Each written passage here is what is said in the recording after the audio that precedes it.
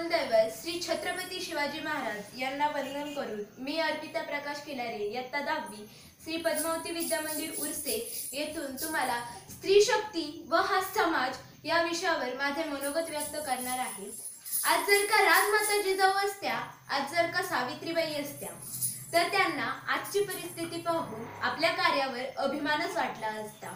राजमाता जिजाऊंनी स्त्रियांना लढायला शिकवले व लढून शत्रूला पाडायला शिकवले. व आजच्या स्त्रिया ह्या पुरुषांच्या अहंकाराविरुद्ध लढतच आहेत आणि आपल्या शिक्षणाच्या क्षेत्रात उंच उंच जातच आहे. सावित्रीबाईंनी स्त्रियांना शिक्षणाचा अधिकार उपलब्ध करून दिला व स्त्रियाही त्या अधिकारावर खऱ्या उतरलेला आज आपण पाहू शकतो ना? आज उच्चातल्या उच्च पदावर म्हणजेच भारताच्या पंतप्रधानापासून ते कलेक्टर डॉक्टर एमबीबीएस अशा सगळ्याच पदांवर स्त्रिया कार्य करत आहेत व आपल्या कार्यातून पुरुषांच्या खांद्याला खांदा लावून आपल्या भारत देशाच्या प्रगतीत आपले दोन्ही हात पूर्ण शक्तीने लावत आहेत.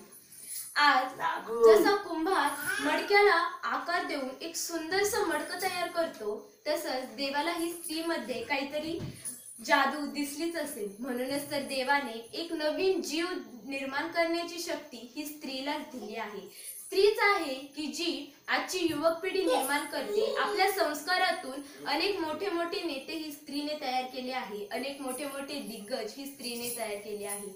आज अख्ख्या महाराष्ट्राचे कुलदैवत म्हणजे श्री छत्रपती शिवाजी महाराज यांचाही जन्म एका स्त्रीच्याच पोटून झाला असता. ही स्त्री कमजोर नाही ही एक शक्ती आहे व त्या शक्तीची आपल्या सर्वांनाच गरज आहेच ना? पण या सर्वांमध्ये एक मिठाचा खडा पडावा तसा हा पण आहेच आणि तो पल म्हणजे की स्त्रियांना आज घराच्या बाहेर जाताना कुठेतरी मनात भीती घेऊन पडावंच लागतं. आज तुमची आमची बहीण आई जेव्हा घराबाहेर जाते व तिला यायला उशीर होतो तेव्हा आपल्या मनात थोडीशी शंका कुशंका येतेच ना. ती शंका क्या यावी? का आपला समाज स्त्रियांना स्वतंत्रपणे फिरू देत नाही? एखाद्या स्त्रीवर अत्याचार झाला एखाद्या स्त्रीवर बलात्कार झाला तर समाज म्हणत असतो की हा अंग प्रदर्शन केल्यावर होणारच. पण आपण का आपले विचार बदलत नाही? का स्त्रियांवरील अत्याचार आजही थांबत नाही? स्त्री भ्रूण हत्येसारखी गंभीर घटना आजही आपल्या देशात घडत आहे. व एवढेच नाही पुरुषांपासून ते स्त्रियांपर्यंत स्त्री भ्रूण हत्या करायला कोणी मागे पुढे बघत नाही. का आपण मुलींना का मारतो?